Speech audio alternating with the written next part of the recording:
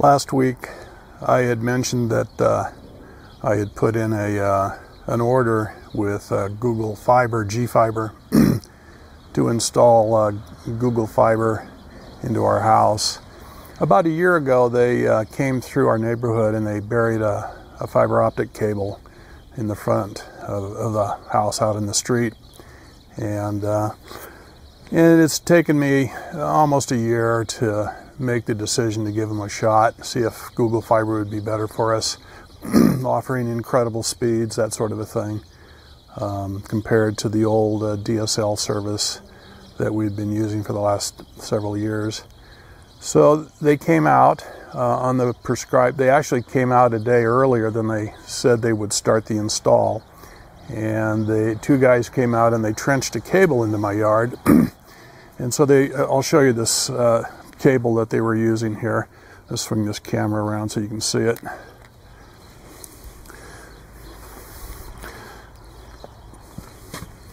This is, uh, as far as I know, this is a uh, uh, this is the fiber optic cable that they buried. They, this is a scrap that they had cut off as they were working on it. It's a remnant of the cable, and it's a uh, it's a direct bury type cable because that's what they did. Directly buried it into the yard.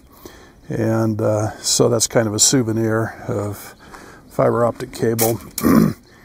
and so the way they did it is they, uh, if you look over there all the way into the corner behind those, in between those two trees, there's actually out on the street there a uh, a box that's buried in the ground. It looks a lot like the type of box and box cover that you would have for an underground sprinkler system. And they went out there and they started digging from that corner and they followed along the hedge over there to about just to the uh, right of that uh, tree over there. And then they started uh, moving in towards um, the house and, you know, it was kind of, I don't know, they didn't go very deep with their trenching. They actually just hand dug it with shovels. And it wasn't quite as cold or bad as it is right now, weather wise. Uh, the ground was pretty soft. and they, it didn't take them long at all to trench the cable in. And so they trenched it. They sent it right over here. It kind of came up through the yard here and over towards the house where it comes into the house. And when they do this, it's called a fiber drop onto the property. And so that's what they did is they did this fiber drop. And it goes into that gray box right there. That's called a, a uh, network interface unit, an NIU. And they installed that box, the people that dug the cable in. And uh, so then, once they had that, they coiled up the uh, that black fiber optic cable that I was showing you, and they just left it on the exterior of the box and uh, waited for the next guy that actually makes the connection. And that was gonna that actually happened the next day. So uh, they came out here. I had them scheduled at 10 a.m. and I'm gonna turn this camera back around so you can see me. Um, they were scheduled at uh, 10 a.m. and they came out here and the technician had some equipment and he actually terminated, cut and terminated the fiber optic cable at both ends out on the street and uh, there into the NIU and uh, finished finished his part of the job in about 30 minutes or 30 or 45 minutes. It didn't take him very long. and then after he's done, then the, the next technician comes out and uh, he was scheduled, I think, for 10:30 and uh, or 10 o'clock. And uh, I got a phone call about 10 minutes to 10 from Google Fiber apologizing that the technician was going to be about 30 minutes late. Uh, please accept our apology, blah, blah, blah. And so, about 15, 20 minutes uh, after the phone call, the guy shows up and very professional, ready to go to work and it didn't take him very long at all to do the rest of the installation inside of the house. And uh, so I'm going to take you into the house and show you what they did from that NIU box um, and how they uh, actually got it up and going in our house. So uh, come on, I'll take you in the house and show you what, what that was like. All right, so now we're in the house, and I'm going to show you. I'm standing on the uh, interior of the house on that wall that had the uh, NIU unit, and I'm going to show you where the cable actually came through. And uh, that's right down here. Now, this is still a bit of a mess. I haven't really got all the cables set the way I want. Uh, so, this is where the uh, uh, fiber actually comes into the house. That box over to the left is called the, I think that's called the fiber box. And uh, there's actually, I wanted them to, there's a couple different ways I can actually get the fiber, but this black cable here is actually, that's fiber optic cable that goes into that black, or into that little white box there. And I think what that box does is it converts it from fiber to Ethernet. And then the white cable coming out of the bottom here goes over here to the Wi-Fi 6 router, which is setting right there on top of an old antique amplifier system that I need to get rid of. And uh, so, so that's pretty much the electronics uh, on this part of the house. now there is a Wi-Fi extender that goes with this, and I'll show you that in just a second as well. But I've just got it plugged in. Unfortunately, it needed two plugs, one for the uh, fiber box there and another one for the Wi-Fi 6 uh, router, which is over there.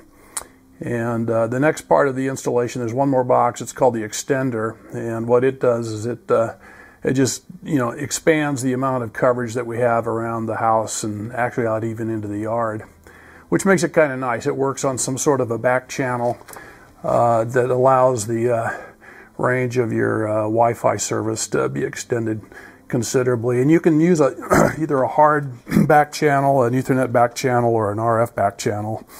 And in our case, I've just, uh, for now at least, just got it set up on an RF back channel.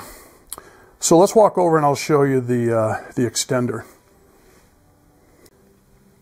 Okay, now we're in another part of the house, and that little white triangular shaped box here is the uh, Wi-Fi extender and it's uh, it's dual band, but it, it switches automatically, and I don't really fully understand how it, it negotiates that with the uh, with the device that's attached to it, whether it's going to operate on a 2.4 or a 5 gigahertz Wi-Fi channel.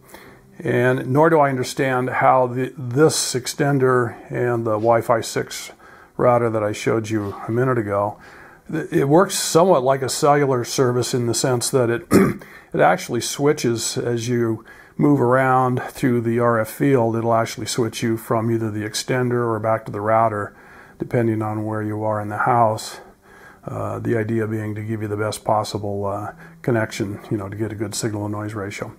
And so those other two little appliances, this is an old antique phone that I have.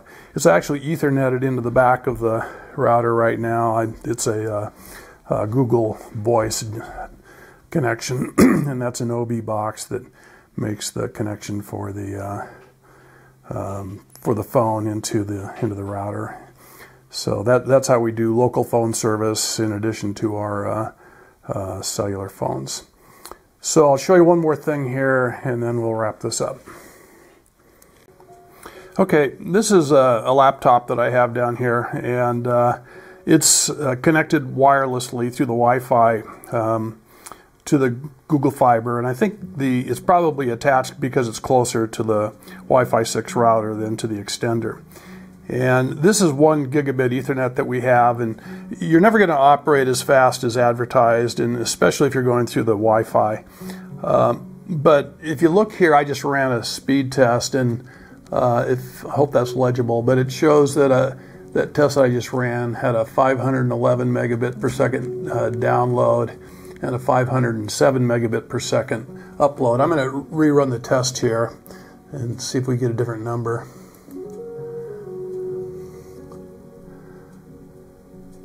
Looks like it's going to be a little bit slower, maybe not. There's 500 and 540 megabit per second download and uh,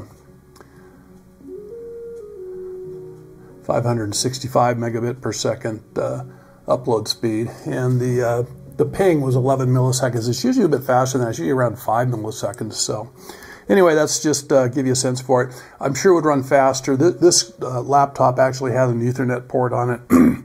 I could plug it into the back of the router and I'd probably have speeds, assuming that the computer was up to it, uh, closer to one gigabit. So anyway, that's pretty much it. Just wanted to make this one brief video of the uh, new internet service through Google Fiber that uh, we signed up for.